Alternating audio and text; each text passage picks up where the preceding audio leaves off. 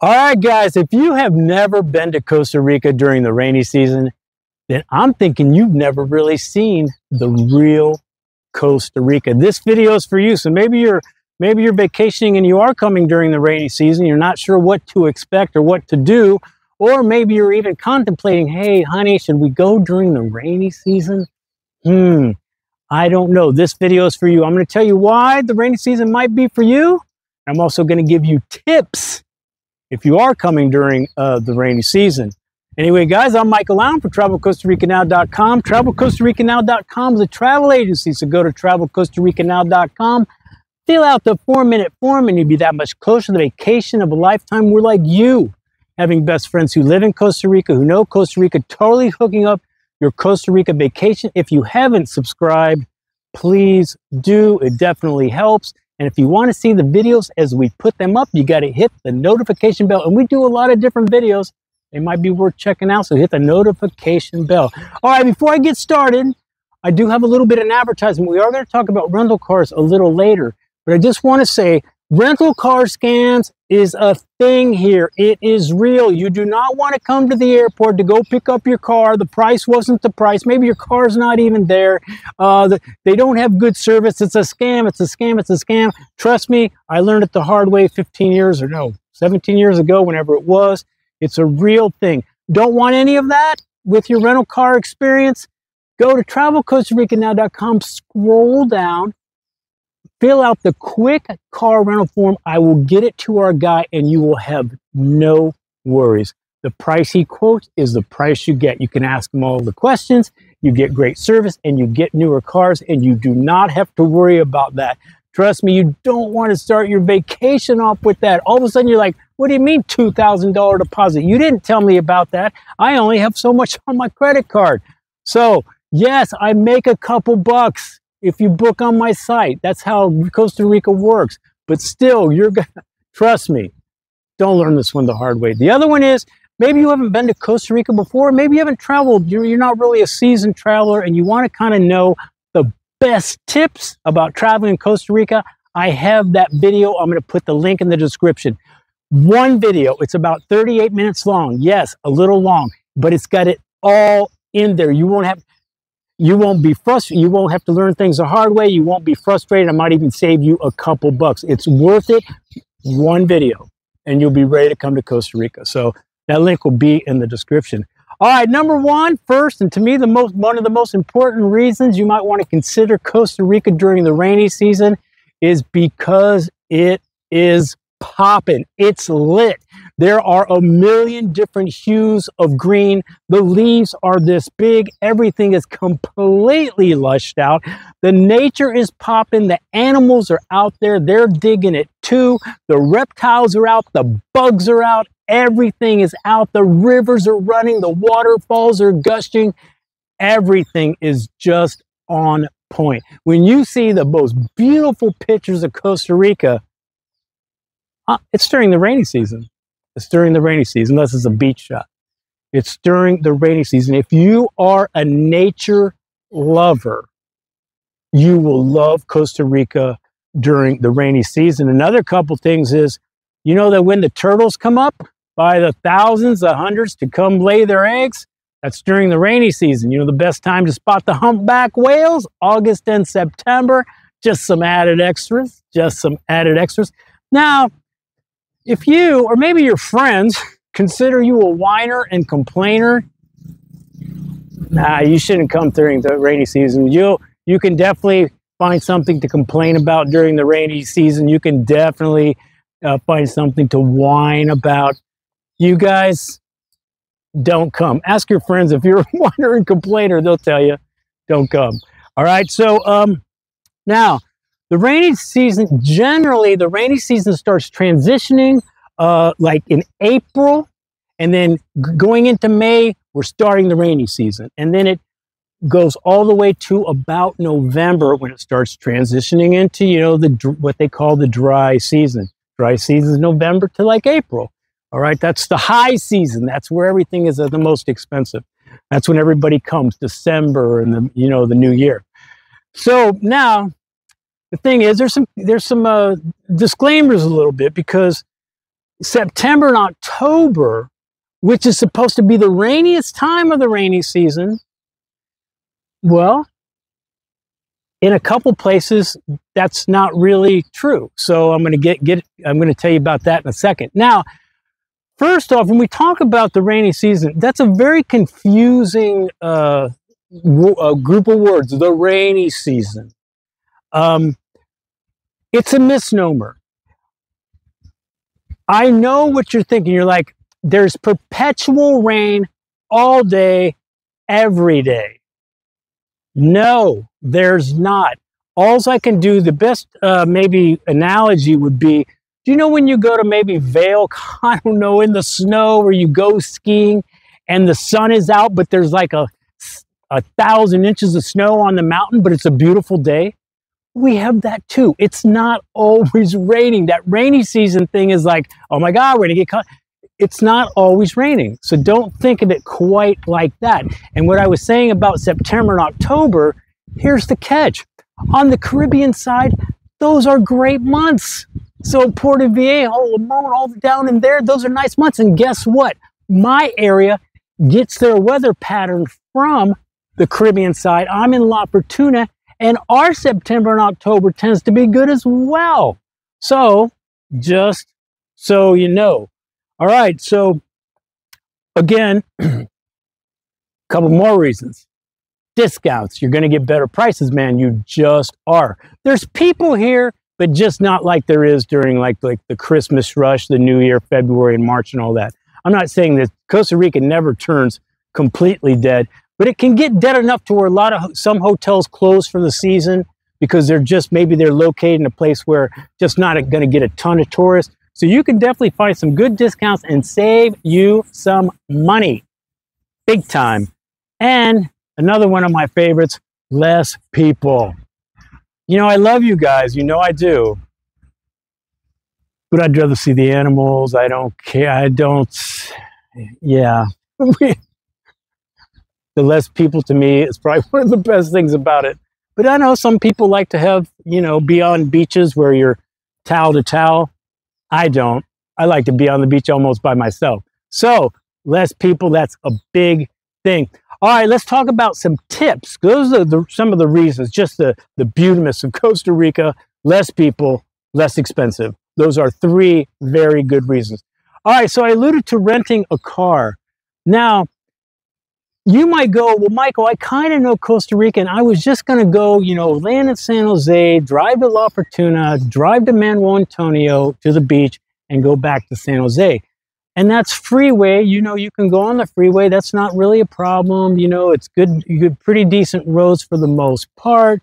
Why do I need an SUV? Well, I'll tell you why because even now you might be uh, just uh, that was an example if you happen to be on roads. Now you can definitely be on roads where you need an suv here definitely. The osa peninsula down in the Nicoya peninsula.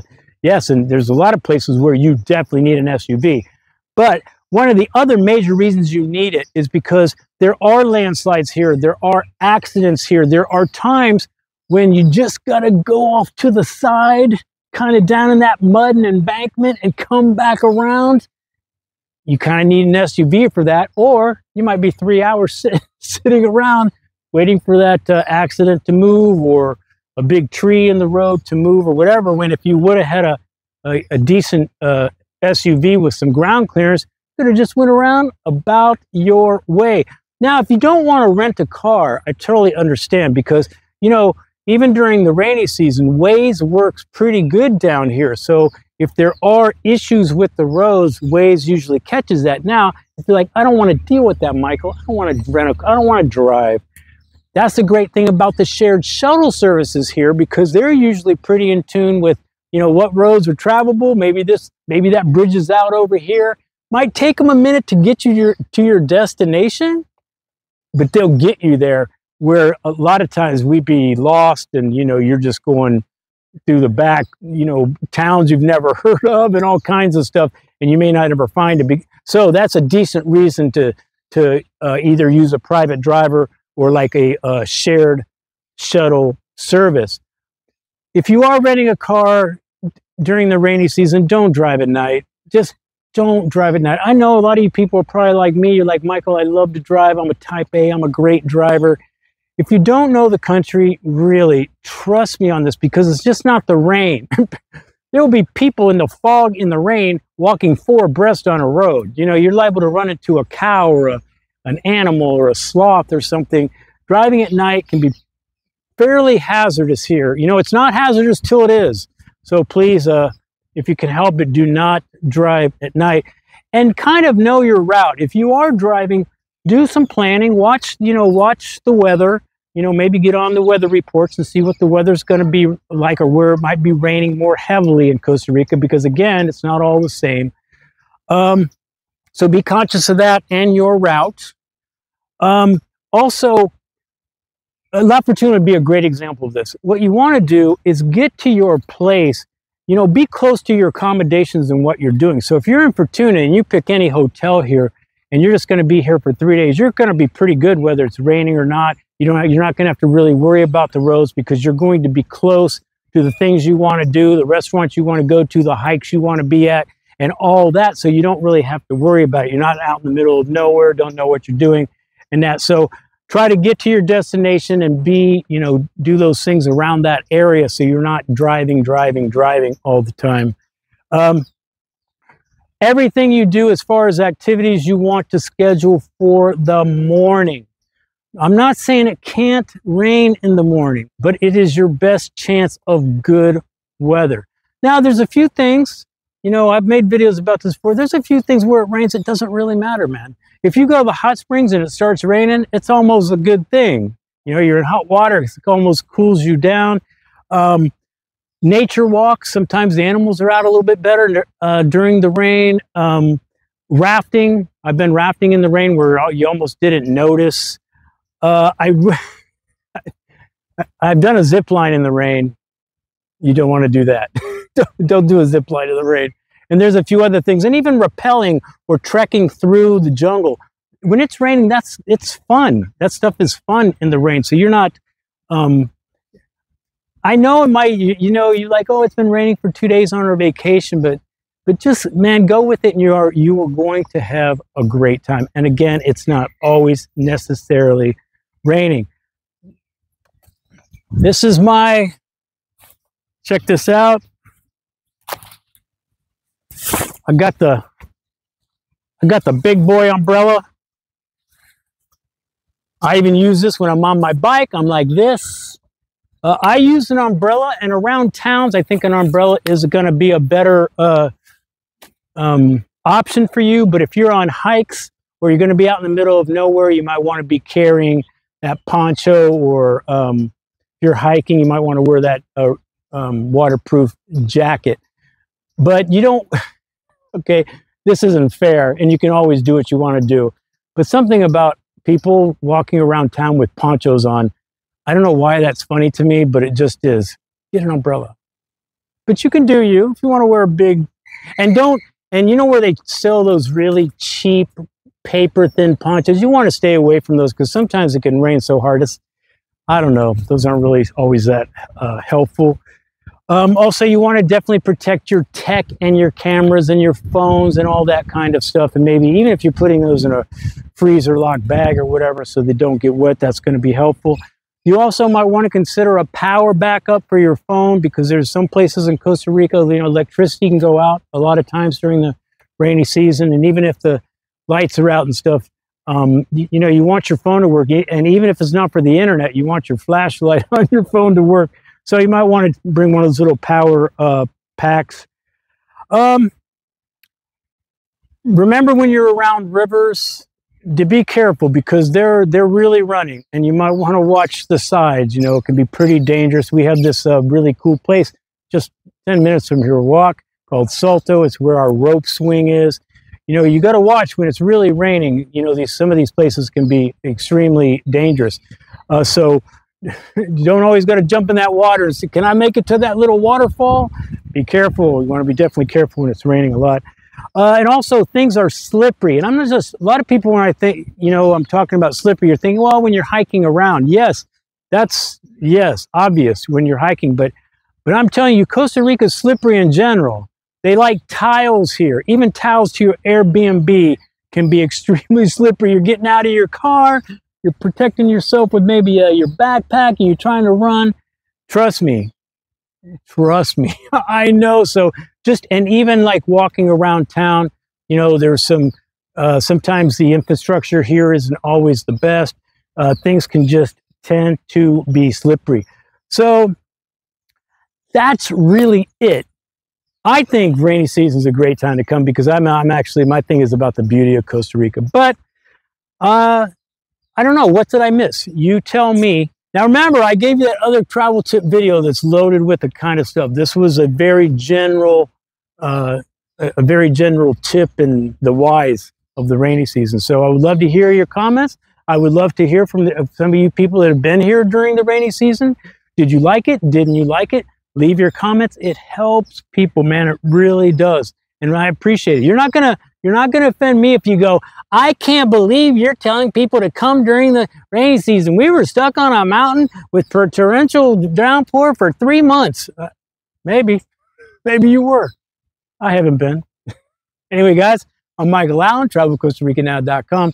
Peace, guys. Hope it helps. Things are going to pop up if you're thinking about living or traveling anywhere always do your homework and research. And if it has anything to do with Costa Rica, I'm going to say check out my videos and I'll put them up against anybody's. All right, man, enjoy your day.